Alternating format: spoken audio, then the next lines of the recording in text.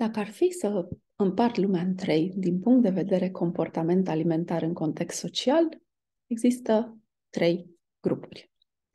Grupul A reușește să mănânce la fel, cam la fel, și la petrecere și după petrecere. Grupul B la petrecere mănâncă mai catolic decât papa, super, super, super atent și apoi se duce acasă și rupe frigiderul. Iar grupul C mănâncă complet aiurea la petrecere, că mâine se apucă de dietă. Și în funcție de unde ești tu azi în această împărțire oarecum uh, abstractă, poți să mănânci la fel în context social cum faci atunci când nu te vede nimeni.